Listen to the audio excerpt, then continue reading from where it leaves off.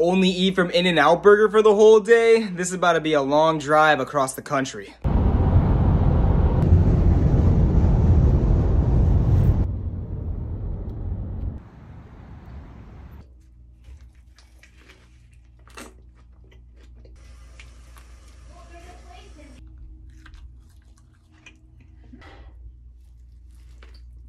Oh.